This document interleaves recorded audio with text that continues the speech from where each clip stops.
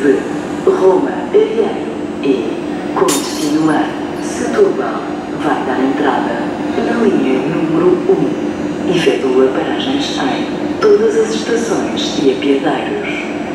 Na entrada para os comboios, atenção à distância entre as portas e a plataforma.